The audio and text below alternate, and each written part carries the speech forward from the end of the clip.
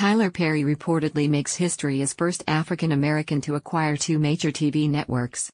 In a major development for the entertainment industry, BET has become black owned once again after 21 years, while VH1, for the first time, now also boasts an African American owner. According to his longtime friend and television personality Rolanda Watts, Tyler Perry has cemented his place in history by acquiring the two major television networks, making him the first African American to do so. The acquisition follows the news that Paramount Global has sought to sell a majority stake in BET. According to a source close to Tyler, when she learned that Tyler bought BET Media Group, Meghan contacted and offered to contribute $2 million. But even more odd is that she wants to owe that money, because her current economic situation is not very good. Of course, Tyler refuses, he can't agree to a deal that doesn't benefit him. He knows Meg has no money now, she always wants free things, and he never accepts it. Tyler belongs to the ranks of the rich and powerful in America, something Meghan has always wanted to achieve.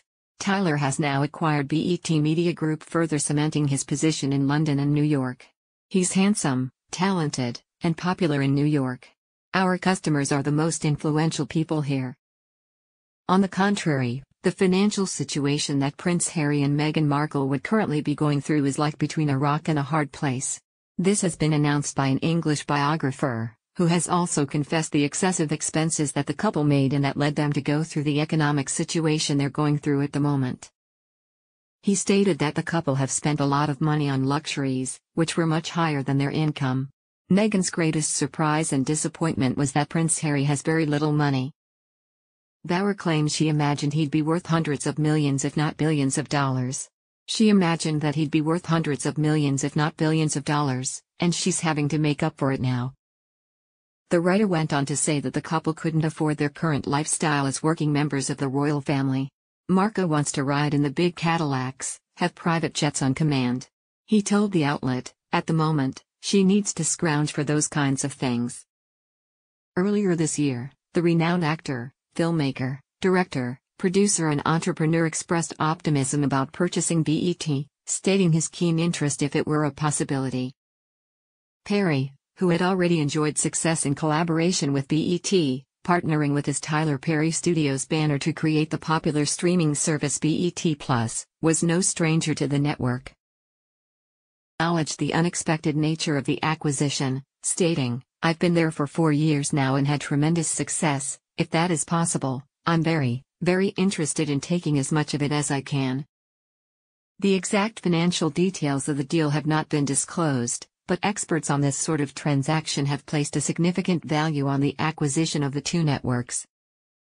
With the purchase, Perry assumes control over BET Media Group, which includes other networks such as VH1. Since its launch, the BET Plus streaming service has experienced remarkable success. In 2021 alone, BET Plus was responsible for half of the subscribers and nearly all revenue growth for the channel. The platform features a wide range of original films and series from the extensive BET program library, captivating audiences with diverse and engaging content. The acquisition of BET and VH1 marks a significant milestone in the representation and ownership of the entertainment industry. Perry's success as an African American entrepreneur and his commitment to showcasing diverse stories and voices have paved the way for increased opportunities and inclusivity in the media landscape. As the new owner of these influential networks, Perry is poised to leave an indelible mark on the future of black owned media and further amplify underrepresented narratives on a global scale.